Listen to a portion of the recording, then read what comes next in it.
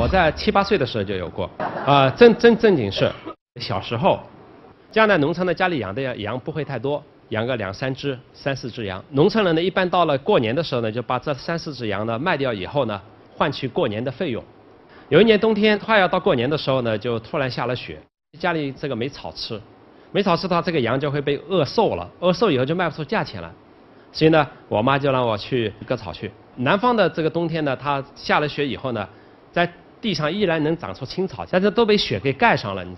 茫茫雪原，到哪去找草呢？后来我只有一个办法，就是先用镰刀把那个雪给拨开，拨开以后，这个雪底下露出的青草一颗一颗的挑起来，放到篮子里。哎，我后来不知道哪来的这股劲儿，我居然就是整整一天，居然割了整整两篮子的草，而每一棵草都是我从雪底下扒拉出来的。所以后来我自己在做事情的时候，做的那种不那么顺心的时候，常常会有我在小时候割那两篮子青草的景象就会浮现在我的脑海中间。再比如说，给你举个例子，我自己高考三年，前面高考两年都落榜了。那到了最后一年，就变成了什么状态呢？就是如果我不考，再考进大学的话，就永远不可能再考大学了。家里也没有那么多钱。